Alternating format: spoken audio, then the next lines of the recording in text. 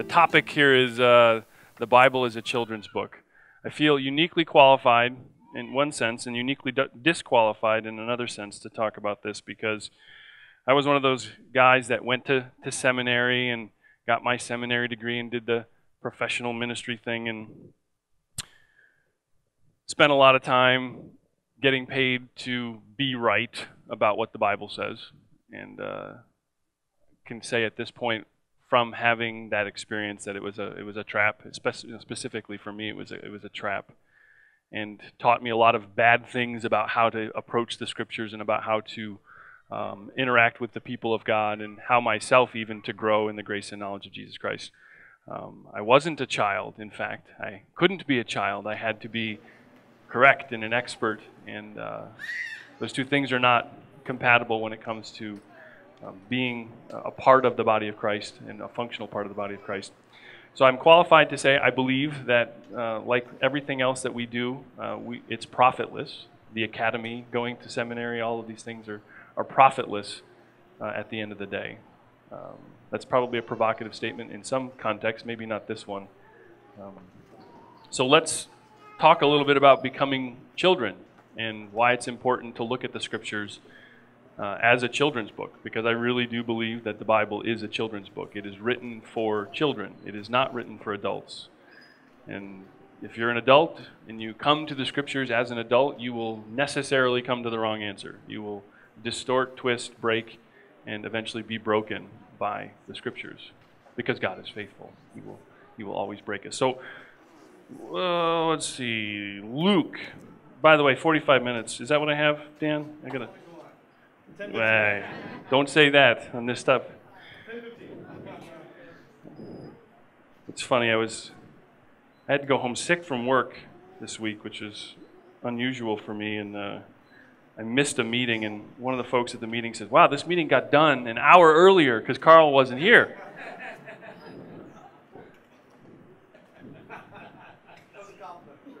Ah, uh, not from this person. so I'm going to set my little gadget here for 45. Whoa. I can't put my glasses on with this gadget around my head. Let's see. There we go. Uh, I think it's like Luke, is it 18? To talk about children? Yeah. Uh, Luke 18, let's do 15 in a few verses. It says, Now they were bringing even infants to him that he might touch them, and when the disciples saw it, they rebuked him. But Jesus called them to him, saying, Let the children come to me, and do not hinder them, for to such belongs the kingdom of God. Truly I say to you, whoever does not receive the kingdom of God like a child shall not enter it. It's pretty straightforward. To such belongs the kingdom. So I think not to completely totalize here, but I think that in order for us to know the Lord and to be known by the Lord, um, we have to become like children. And in order for us to know the Lord and to be known by the Lord, uh, we have to be approached with and receive the truth that comes from the Scriptures. So, therefore, I, I conclude that it's possible that the, the Scriptures are really a children's book. Um, Let's go right back to the beginning for a second. Genesis 1. In the beginning. In the beginning. In the Genesis, yes. In the beginning, God created the heavens and the earth. Cool. Let's go to John chapter 1. I love jumping around in the scriptures. I'm setting up some bookmarks. Have you guys noticed old stories like um, like The Wizard of Oz? The you watch the movie or you read the book, and uh, actually I've not read the books. I probably shouldn't say for sure, but the, the, the movie for sure sets out all the characters in like the first five minutes, and it kind of puts them in a context. And after you've already seen the movie, you look back at the first five minutes and you realize, holy smokes, the, almost the entire story is like captured in the first five minutes, and all the characters are, are introduced in their in their uh, the part that they're going to play is, is pretty well foreshadowed. I think uh, It's a Wonderful Life is another movie like that. The scriptures Uh, are similar in the sense that we have this, this in the beginning, and then throughout you see repeated and rehearsed and developed the characters and the, the patterns that are introduced in the first, the first few chapters. But I just want to put a couple bookmarks for us to hang our story on. John says, In the beginning was the Word. So we have two, two chapters, if you will, in this book we call the Bible that start out with in the beginning. And that's kind of a totalizing statement, in the beginning. We think about the stories that we read now, usually like once upon a time, children's stories. Allow children to go separate where they are to, to some other place and begin to get their mind into what you know what the story is about to unfold. But this this book that we have, this story that we're reading says in the beginning. That does not allow for anything outside of that, I don't think. So what promise comes with a story that starts out with in the beginning is that this story is going to explain every other story that ever was and ever will be. It will explain why it is that we like stories. It'll explain why it is that we behave the way that we behave. It'll explain why we ask the question why. That's the promise I think that the scriptures give to us by starting out by saying in the beginning and then talking. We'll, we'll spend a little more time later on looking at what John says about in the beginning was the Word. So, children, a book, a story, what else do you need for a good time? But as we're starting to think about how the Bible is a children's book, let's, let's stop for a, a small, brief moment and describe children for a second. I need someone to write because my handwriting is terrible. Uh, hey, Gary. Adjectives describing children. Ready? Go. Anybody? What? Innocent. Loud. Truthful. Simple. Perpetual motion. Yeah, we should have given him how many we had to fit on here. He's, a, he's an engineer. He probably would have been able to figure out the font size and the kerning. Yeah. Animated. Animated. Imaginative. Creative. Trusting. That's a good one. Simple. Yeah, that's fantastic. Simple. Curious. Adventurous. Thank you, Kenny.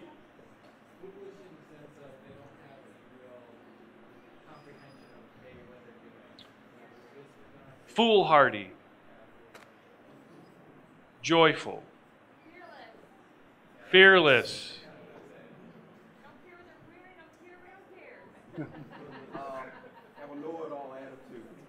They, they do have a know-it-all attitude, right? They, they tend to, uh, at times, be know-it-alls. Uninhibited. They also listen to one person, usually it's their parent, or some, they listen to some authority, whether it be their parents or somebody they trust. Children align to some authority. They're trustful. They are trusting of some authority. That's absolutely the case. Yes, Julian. My daddy's stronger than yours. Yes. Okay, this is great. This is fantastic. So, this is how children are. And how do they play? I'm not going to keep writing. Let's describe. We've got lots of parents in here. So how, how do children play? Where, hard. They play hard. They mimic. They, they what? They mimic. They mimic. They imitate. Where did they get the, the, the material for imitation? Family. They family, Mom and dad. mom and dad. In fact, whatever they're exposed to. Actually, I'm sure you guys have done this experiment when you're completely burnt out and you're like, "Oh, I just got to put on a movie because I can't. The kids are just crazy." And then you see how they behave after watching a few hours of Walt Disney or something like this, and the difference between that and you give them a stick in a box and a story that you read to them last night, and they behave, they mimic, they imitate differently. It is a function of how they're what they're exposed to, and that is something that we actually control for the most part, um, what our children are exposed to. So, how do, how about how do they how do they learn? How do children learn? Repetition. Observation. Observation. School of Hard Knocks. What is that? They make mistakes. Yeah. Yeah. Through the story. Through the story, in fact. Yes. What happens as you're.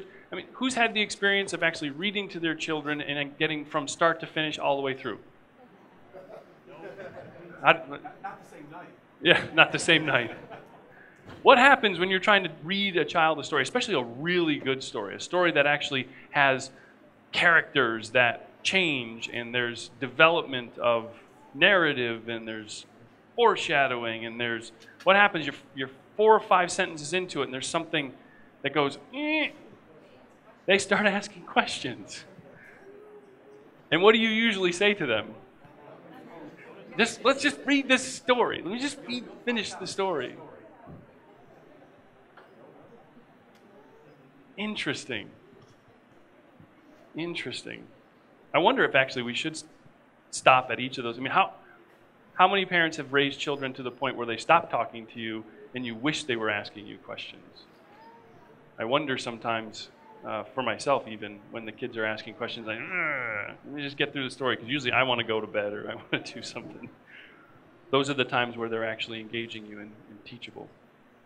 This whole notion of questions is very interesting too, because we're going to spend a little bit of time in Genesis 1 through, uh, 1 through 5, um, 1 through 4, I should say, talking about questions.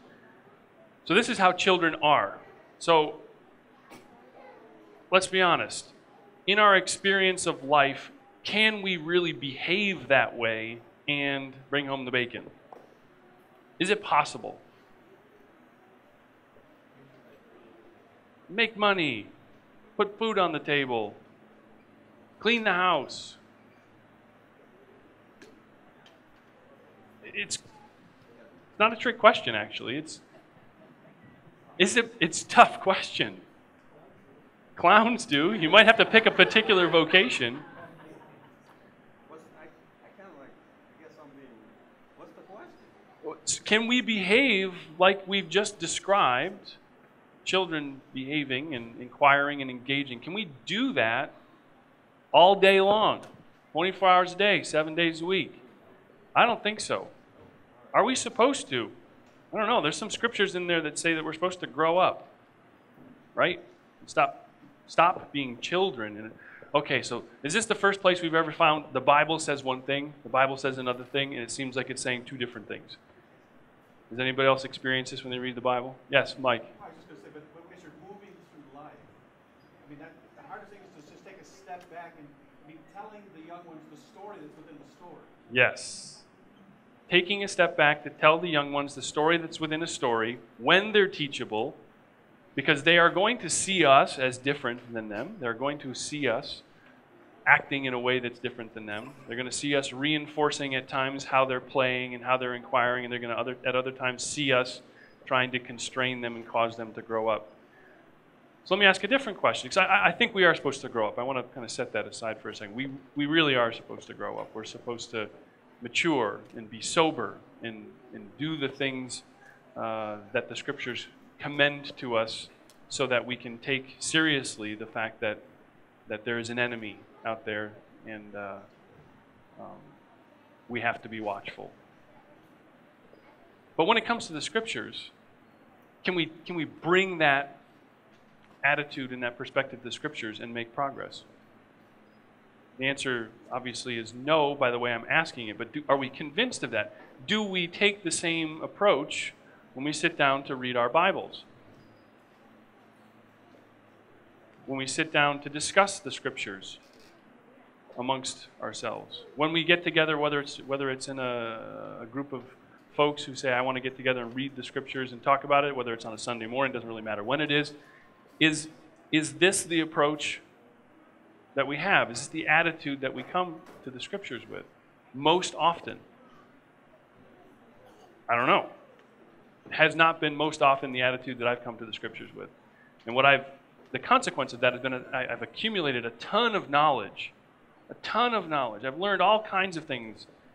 You know, I could probably tell you how many nails were in the, the ark or something like that. But I probably, at, at one point in my life, couldn't tell you what the ark meant and why it was important.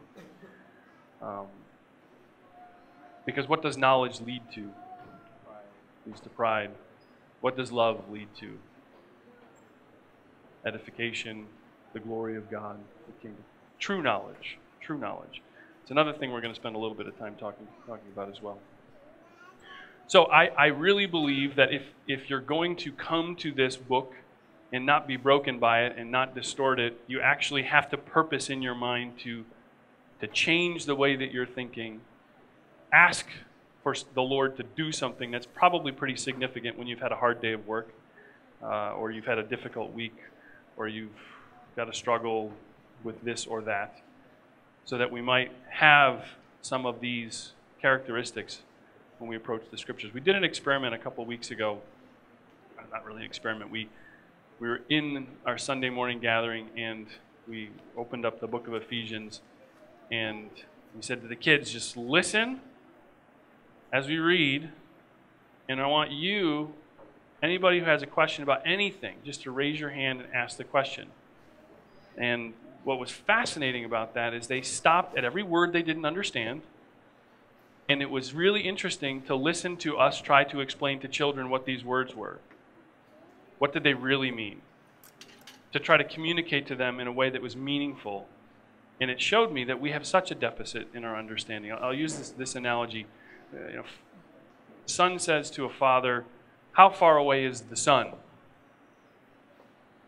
And the first answer is a very, very, very long way away. Very long way away. Yeah, but how far? Kids wanting to know more, wants to understand with more precision, with more accuracy. So it's it's however many million zillion miles, whatever I don't know what the number is. Somebody could probably Google it quicker. It's this many million miles away. And the kid says, "Well, how? How many is that? Could you give me an example of like how many that is?"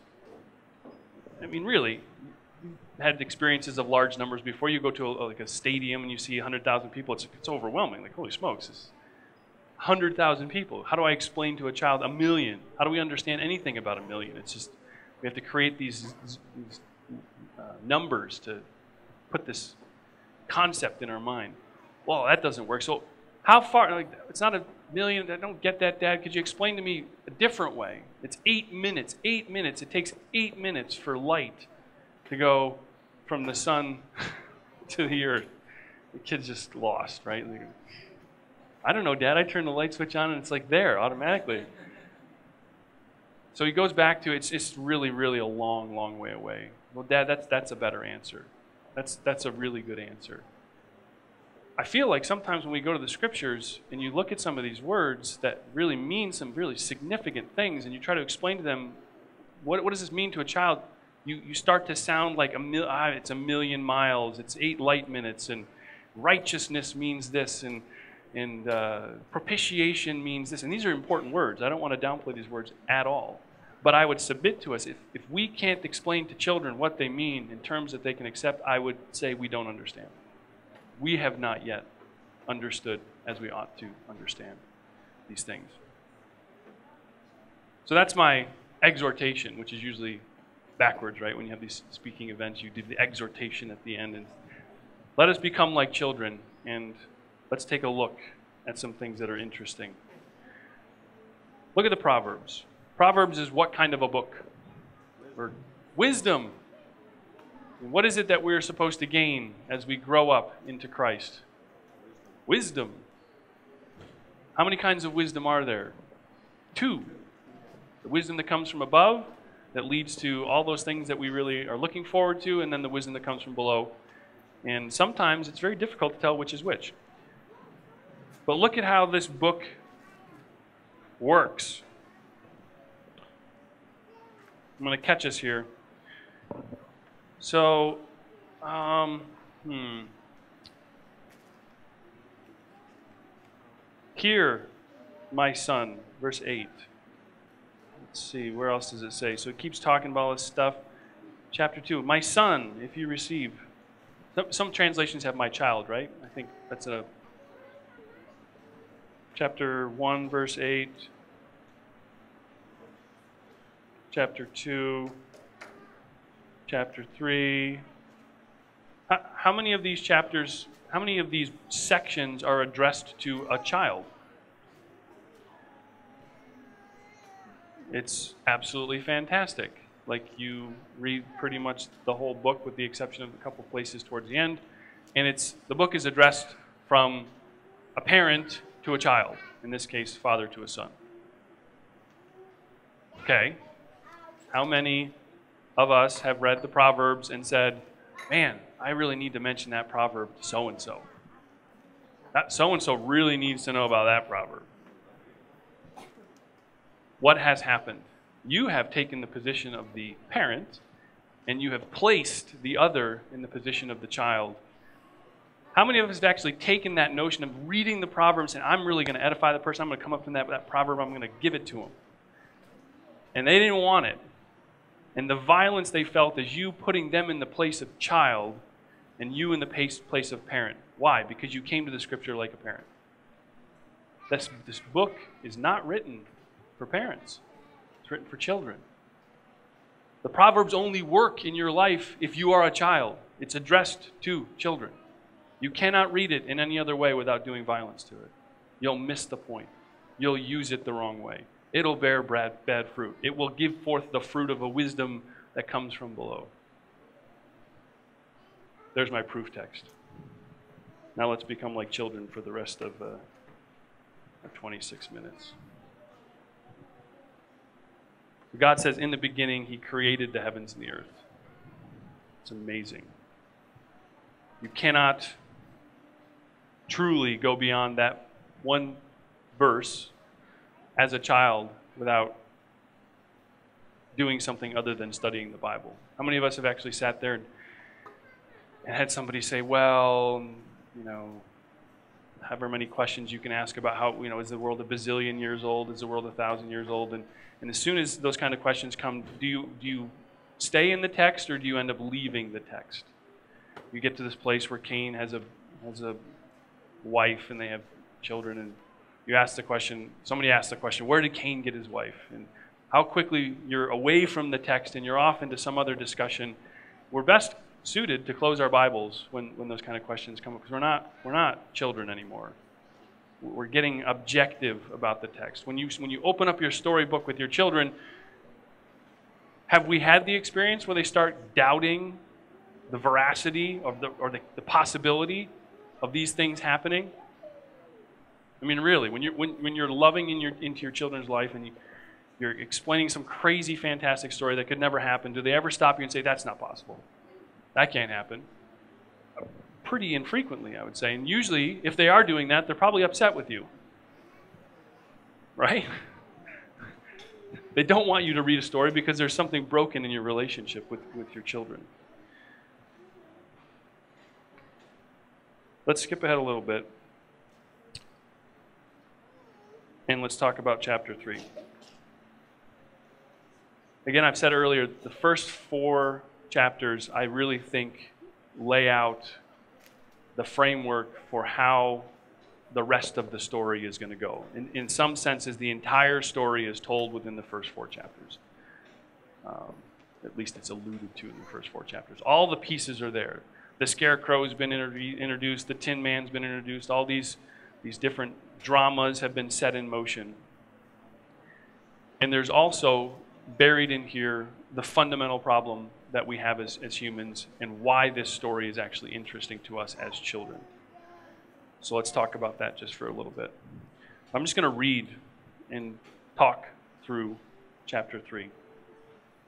Now the serpent was more crafty than any other beast of the field that the Lord God had made. He said to the woman, Did God actually say, You shall not eat of any tree in the garden?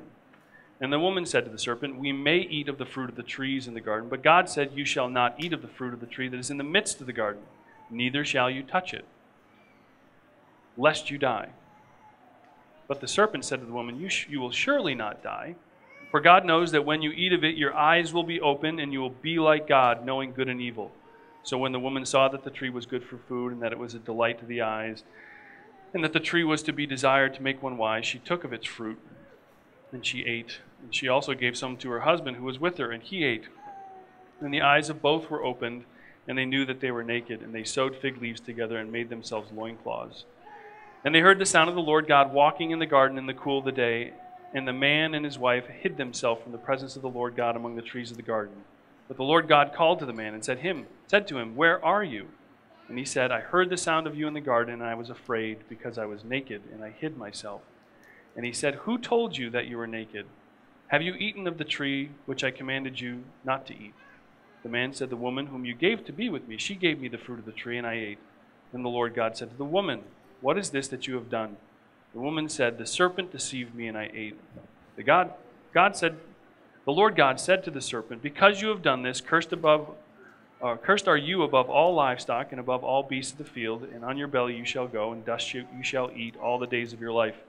I'll put enmity between you and the woman, and between your offspring and her offspring. You shall bruise your head, and you shall bruise his heel. To the woman he said, I will surely multiply your pain in childbearing. In pain you shall bring forth children. You shall, your desire shall be for your husband, and he shall rule over you. And to Adam he said, Because you have listened to the voice of your wife and have eaten of the tree of which I commanded you, you shall not eat of it. Cursed is the ground because of you. In pain you shall eat of it all the days of your life. Thorns and thistles it shall bring forth for you, and you shall eat the plants of the field. By the sweat of your face you shall eat bread, till you return to the ground, for out of it you were taken. For you are dust, and to dust you shall return. The man called his wife's name Eve, because she was the mother of all living. And the Lord God made for Adam and for his wife garments of skins, and clothed them. Then the Lord God said, Behold, the man has become like one of us, knowing good and evil. Now, lest he reach out his hand and take also of the tree of life and eat, and live forever. Therefore the Lord God sent him out of the Garden of Eden to work the ground from which he was taken. He drove out the man, and at the east of the Garden of Eden he placed the cherubim and a flaming sword that turned every way to guard the way to the tree of life. I think, more or less, in one chapter is the entire story of man. Not fully fleshed out, obviously, because the enfleshment of the story comes with the enfleshment of the Son of God. But it's all there, all the pieces. A couple things, because the, the charge of, of this discussion was to kind of set the theological stage for the kingdom of God and the church and the body of Christ and how it is that we're supposed to meet. There's many, many questions and many provocative thoughts I think that are going to come from this weekend. But a couple things that I thought were important to, to point out about how it is that we must approach our relationship to one another through Jesus Christ and with the scriptures as the, the revelation of Him, uh, the written revelation of Him to us. Uh, it's, a, it's an exercise in deciding what not to say, but if I had to pick a couple things out of this chapter uh, to speak about very specifically,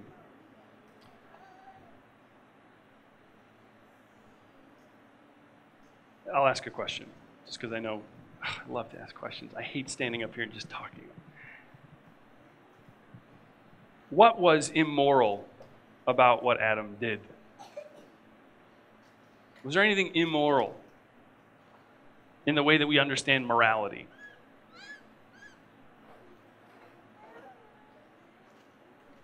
Why is that important? Why, why, why would it be important that Adam didn't do something immoral to bring death into the world.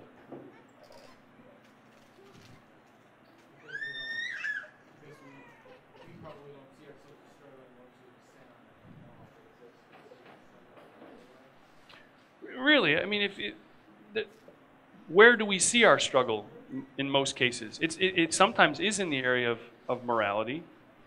But keep going with that thought. Finish, finish the thought, Chris. Okay. Yes, Bill.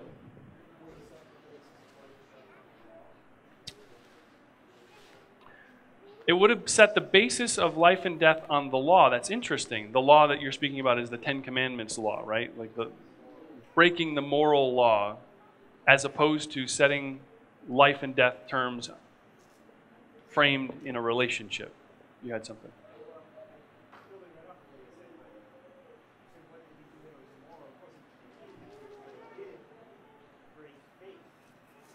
Yeah.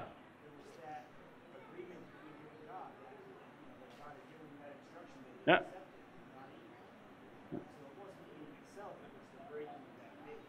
Yeah, there's a choice that was made about, Kenny had pointed out earlier, what do children do?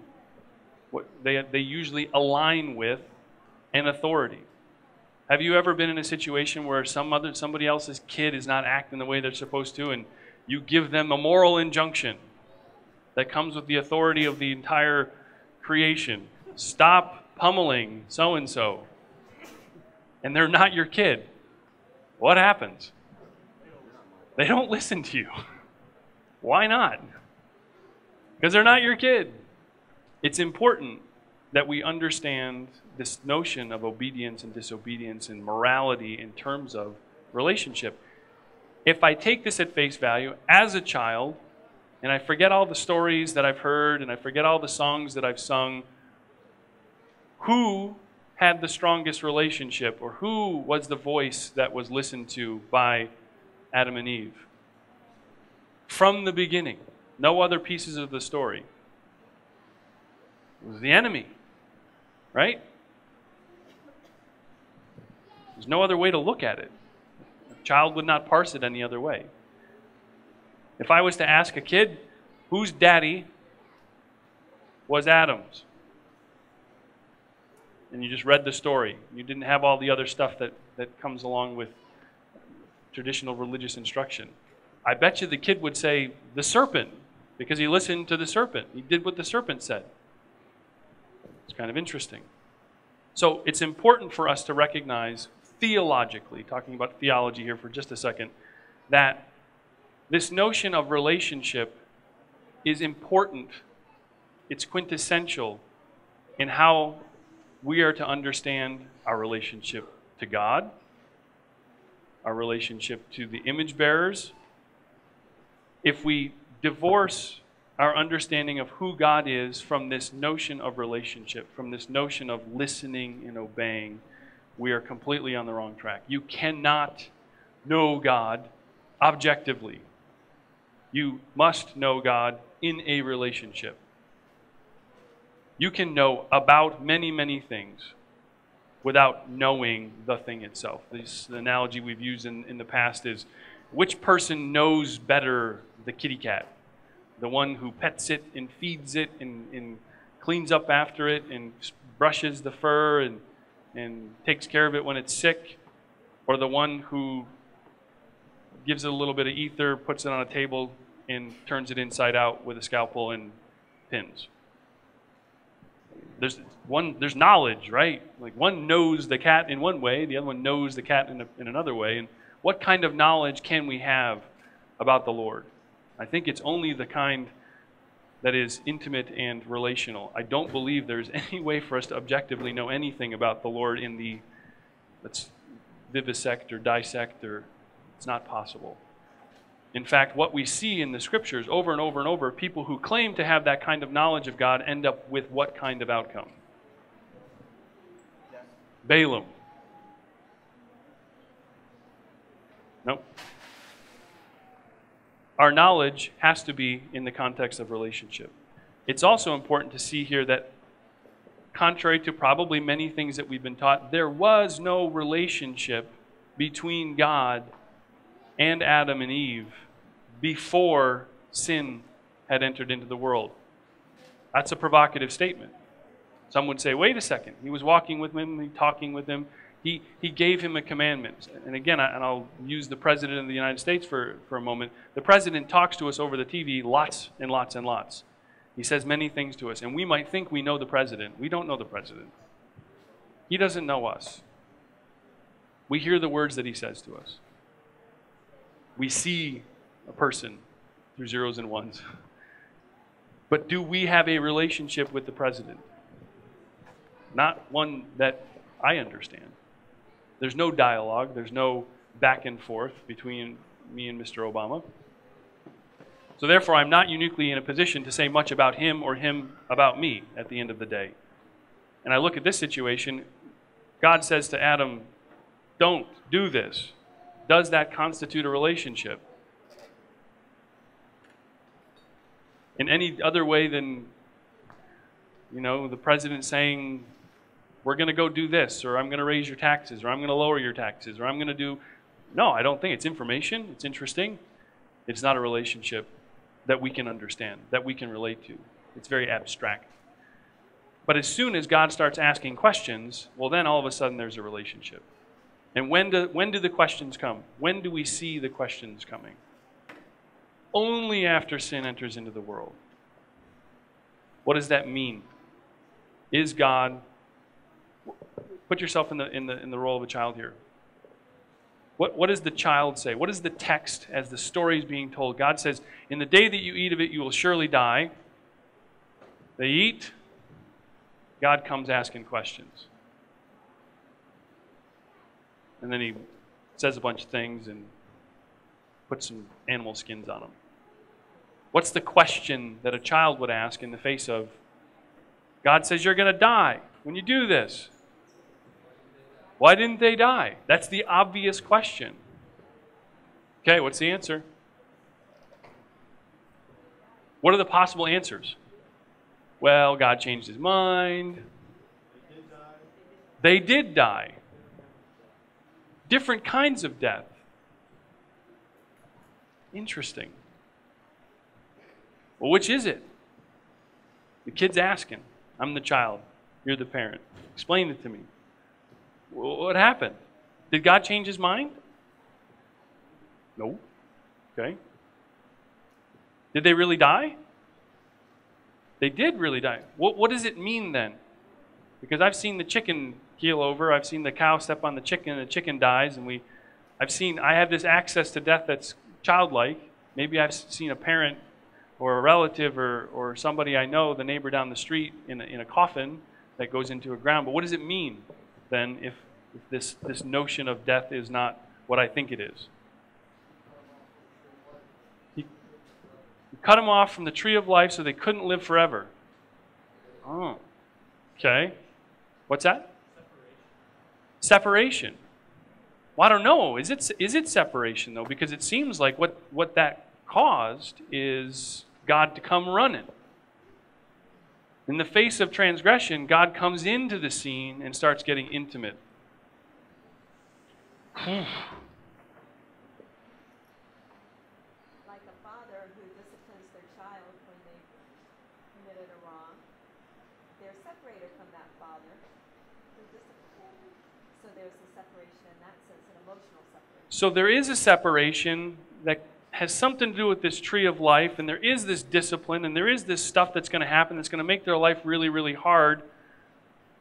But the establishment of the intimacy is there as well, isn't it? So there's drama right there in the beginning of the story that's unresolved. There's this separation. You can't live here. You're not going to live here, and you're not going to be able to eat from that tree. I have no idea what that means you keep reading and you find out well, what what is the tree of life, Daddy? What is the tree of life? You have to keep reading to find out what the tree of life is, and you get to the end and you still don't get a full picture of the tree of life, but you have something else that you can hold on to, which is a definition of eternal life in terms of what? John 17, 16 or something like that. That is it.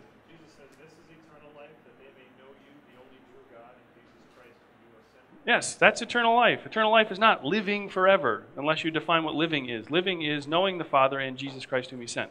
That's it. That's what eternal life is. Okay, so I don't need to worry about the tree of life so much right now because I got at least that part of it down. The tree of life part is the, the, the next chapter or the next book in the trilogy. It's there. There's some things that are written about it, but I would submit to you we know very, very little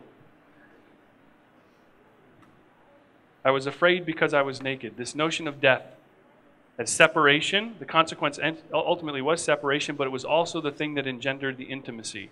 How is it possible that God would be able to engage his relationship with that which he had already condemned to death? Interesting question. The answer is given in this notion of the seed. Right? there's this promise that comes forth. God speaking to the serpent, Because you have done this, cursed are you above all livestock and above all the beasts of the field, and on your belly you shall go, and dust you shall eat all the days of your life. I will put enmity between you and the woman, and between your offspring and her offspring. He shall bruise your head, and you shall bruise his heel. So God has said, You do this, death is the consequence. And he talks about the woman's offspring. Wait a second, they're dead. But she's going to give birth. Isn't giving birth life? What's going on here? Adam, without seeing this, without actually witnessing it come to pass, believes and says to his wife, Your name is now Eve. Because God said to the serpent while I was listening that you're going to be the mother of all the living. Interesting. So the notion of faith is already there in Genesis, right in the beginning. The last thing I want to point out, just from this chapter, is again this, this notion of knowledge. I want to dissect a little bit says in verse 8 They heard the sound of the Lord God walking in the garden in the cool of the day, and the man and his wife hid themselves from the presence of the Lord God among the trees. But the Lord God called to the man and said to him, Where are you? I would submit that this is the first engagement. This is the first evidence of relationship, and it starts with a question. Questions. Interesting. And he said, I heard the sound of you in the garden, and I was afraid because I was naked, and I hid myself.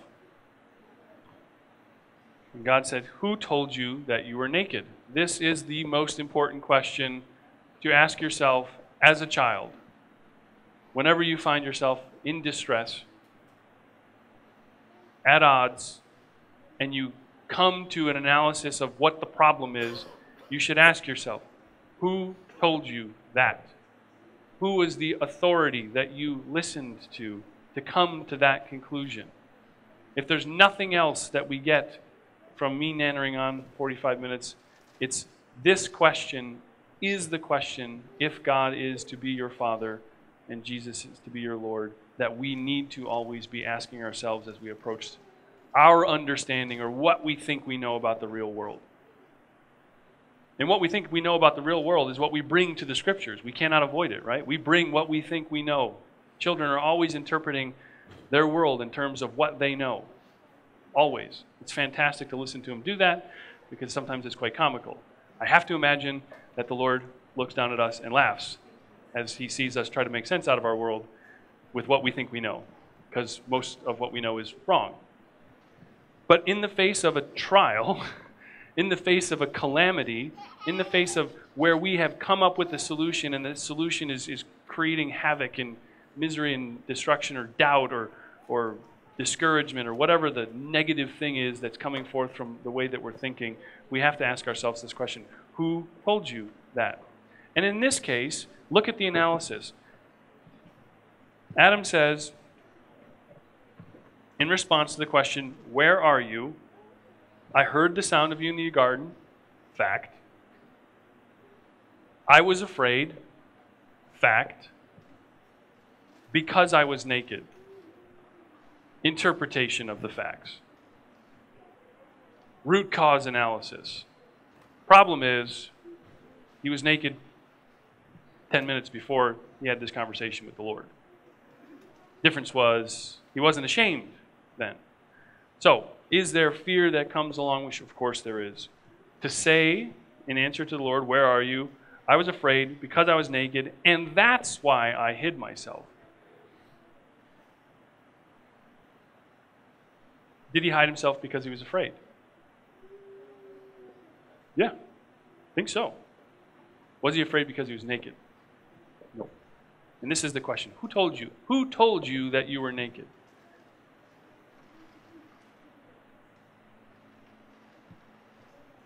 Who told him that? He figured it out for himself.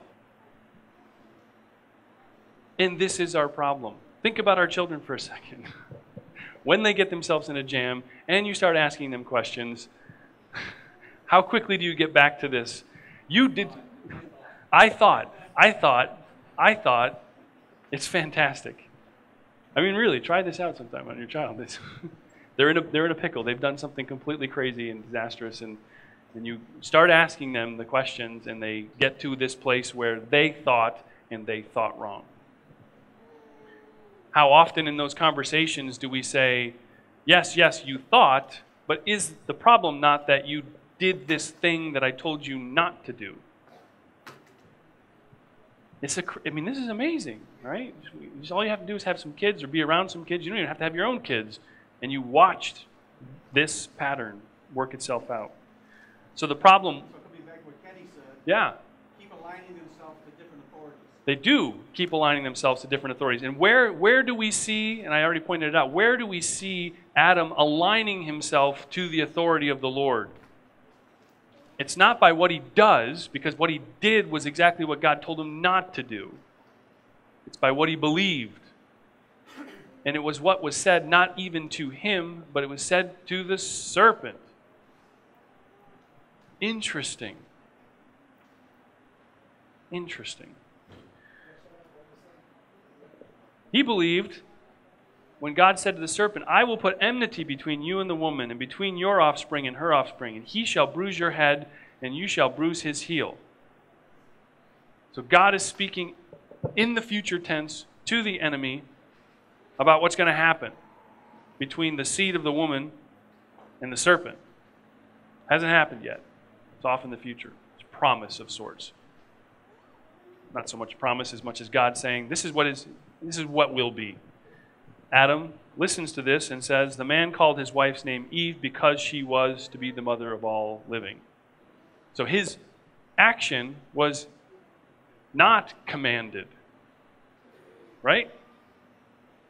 What he did as a consequence of what he heard and believed was not something that was commanded. It was not a law. It was faith.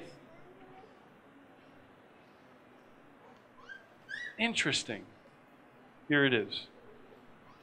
And I think what we need to do is just go back, maybe help ourselves a little bit, try to read these stories to the kids, and- see what they understand and what they don't understand. And what they don't understand, if we can explain it to them, I, I will guarantee, in the face of a child's questions, you will learn more about the Lord than from all your private Bible study with a concordance next to you. All right. I'm- actually going to try to keep my time commitment and shut up. Are there any questions?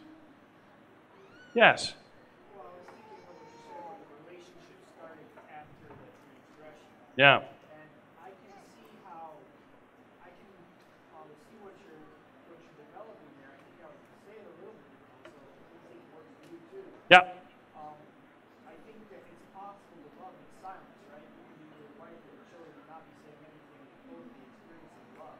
Okay. But when you have a rupture in that relationship, it pretty much takes words to reconcile, right?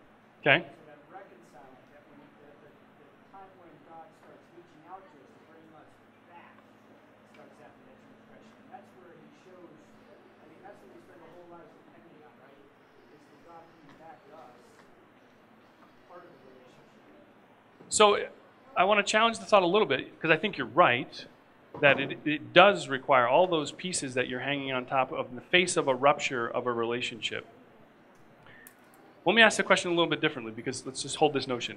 Does it make a difference at all, one little bit, about how we live our life or read the Bible if the relationship between God and man did not start until after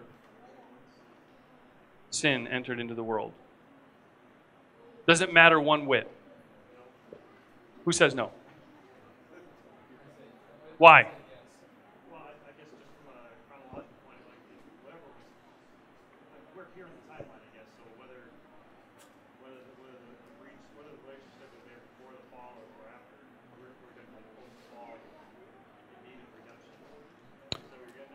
No, that's true. We are post fall in need of redemption, was,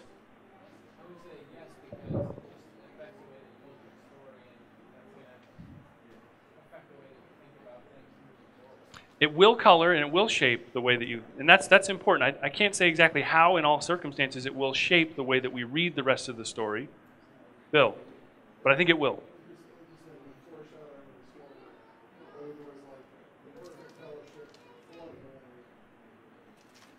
If it was that, it seemed to have perfect focus, it had perfect fellowship apart from Jesus, as opposed to that the whole point from before creation was that Jesus was necessary. He wasn't to come later and fix it. He was the point. This is in, huge. And I'm sure you're going to develop this in hope in your kingdom of God discussion. Oh, come on. I've just planted a seed for you because there's not enough time to fully develop this. I think what Bill is saying is absolutely the case. Is what's happening to us, are we getting restored back to this state of innocence where we were with God in the garden, walking with Him and talking with Him, is that Jesus had to come to fix things and get them back to the way that they used to be. Let me ask a very pragmatic question. By reading what you saw here, with all the text and all the words that were spilled on how great that relationship was between God and, and Adam, is it compelling for us to go back to that? Or do we have to invent what that meant in our minds? We have to ask ourselves, who told us that? Where's that imagination coming from? Mike. I just say it's not about fixing the, the lifestyle. It's about fixing the relationship. It's about fixing the relationship and the consequences of the relationship, and it's always at God's initiative. And what's coming next is better. Is God in heaven, in this scene, rubbing his hands together, saying, Oh boy, what am I going to do now? They've disobeyed me. Everything's broken. Now I have to. Oh, I know what I'll do. Coming up with a plan B. Is there ever such a thing as a plan B for a God who speaks things into existence? I hope you believe no, because I think the consequences of believing yes are that you have a God who is not in control. It is, yes, Sam.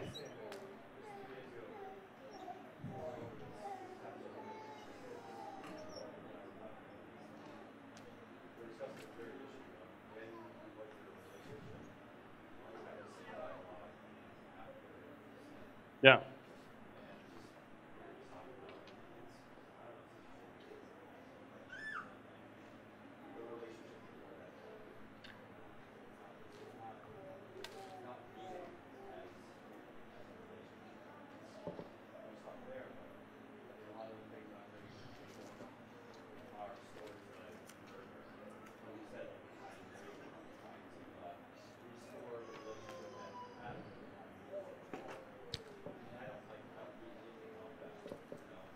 There's nothing in the scriptures that leads us, there's nothing in the scriptures that leads us to think that we are trying to restore a relationship before the fall.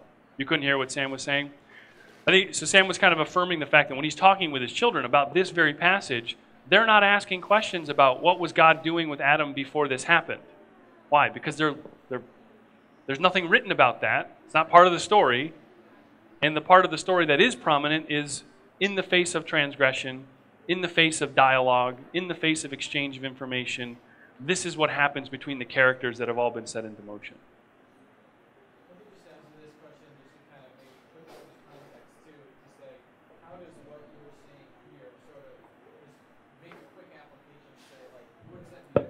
Okay.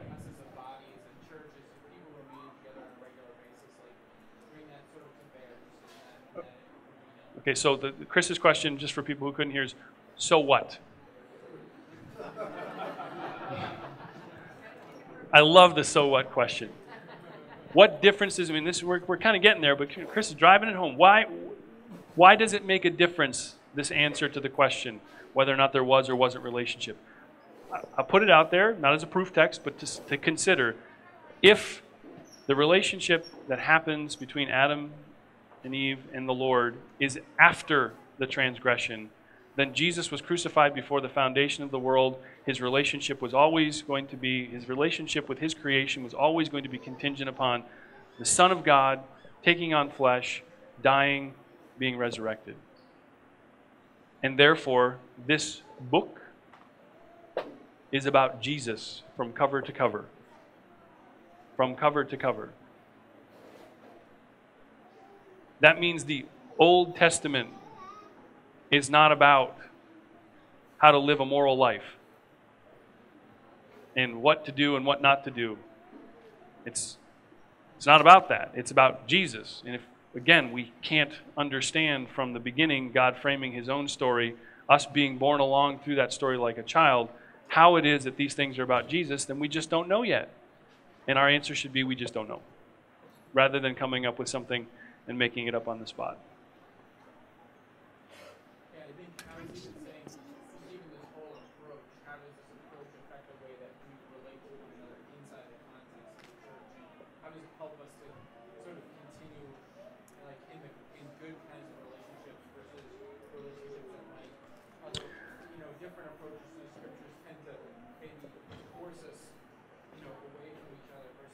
So, so, so very practically, and I know, Chris, you're going to talk, I hope, about some of the ethics that come out of everything that you've heard from, you know, so Chris, you got the wrap-up session, right, on Sunday? You're gonna, are you going to talk about, like, the, the pragmatic, in light of everything you've heard all weekend, here's some very practical things you should be considering. Is that what you're going to do? I don't want to steal your thunder. No, no, no. I mean, I, I'm telling our story. So I'm, Ah, okay. So, practically speaking, when somebody comes into the assembly and says, Well, I think the Bible says blah, blah, blah, blah, blah, blah, blah, and everybody's like, "Er, That doesn't line up with our confession. What happens when you pull out your, your confession or you pull out your doctrinal statement or you pull out your concordance or you pull out my XYZ seminary professor? What happens? It's, it's awful. You, you just have you're just trading authorities. You have two people who aren't even in the room arguing with each other. And what's the question that is given to us? Who told you that? Show us who told you that. Bring us back to something here so that we can see it and understand it. Just because it's new, just because we haven't heard it before, does that mean that it's necessarily wrong? I don't know. Show me who told you that. God makes this incredible promise that says we don't need teachers. Or statement, I should say. It's not a promise. Statement of fact in the in 1 John. We don't need teachers. We don't. Why? Because we all who have come to know and trust the Lord have within us the capability as children to approach the scriptures as children and to hear his voice. And what confidence we have in, in, the, in the assembly is that we have that agreement. We have the ability to ask the question, Who told you that? practically. Listen and say amen or continue asking questions. What happens when somebody comes in, in, and there's division and it's doctrinal division and they, they say, well, A, and somebody else will says B? There's no questions at that point. There's no knowledge. There's no intimacy. There's no relationship. In fact, there's something that's broken. And practically speaking, when we see those two things happening as a church, through its various members, through its various giftings, we are to call it back to who told you that? Where does that come from? And can we agree about that and move forward? Whenever there's, I'll go even further and say, whenever there's doctrinal disagreement that ends up creating strife between two people bearing the image of God, confessing to be conformed to the image of Jesus Christ, there is sin at work. There will be something that needs to be confronted. There will need to be repentance and covering. You can't avoid it. This reminds me of the last thing I wanted to say. Unless there's any other burning questions. Oh, okay. Romans um, chapter is it three? Ah, yeah. Verse 4. I won't go into why he's saying this, but this verse actually has a, a standalone ring to it. Romans 4 3 says, By no means, let God be true, though everyone were a liar, as it is written, that you may be justified in your words and prevail when you are judged.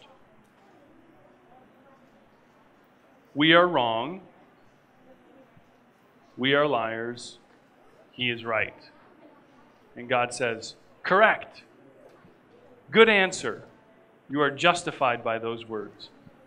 Again, coming to the scriptures as children, not sitting in judgment over them, but being judged by them, being found to be deficient by them, we can be justified by saying, God is right and I'm wrong. I like it simple. Amen. Thanks, guys.